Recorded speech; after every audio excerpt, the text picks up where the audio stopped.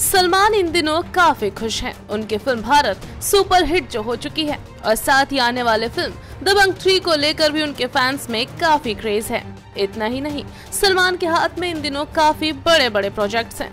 लेकिन इसी के साथ सलमान को जेल भी जाना पड़ सकता है काला हिरण मामला सलमान के गले की हड्डी बन चुका है सलमान खान से जुड़े काला हिरण शिकार मामले को लेकर करीब 20 साल से चल रहे केस में गुरुवार को जोधपुर कोर्ट में सुनवाई हुई है इसमें जोधपुर कोर्ट ने कहा है कि अगर सलमान खान अगली सुनवाई में कोर्ट में नहीं आते हैं तो उनकी बेल को रिजेक्ट कर दिया जाएगा।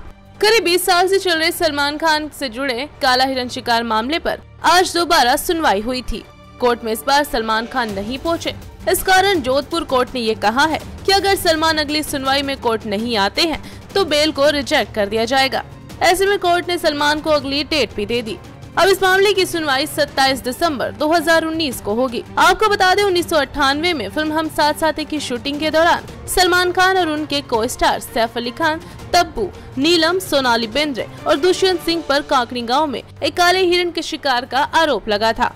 जिस पर कोर्ट में मुकदमा भी चल रहा है। इस केस के चलते सलमान को समय समय पर कोर्ट में हाजिरी लगानी पड़ती है और सुनवाई के लिए भी जाना पड़ता है। हालाँकि ऐसा हमेशा होता है कि सलमान अपने केस की सुनवाई के लिए कोर्ट में उपस्थित रहते हैं, लेकिन इस बार वो वहाँ पर मौजूद नहीं थे।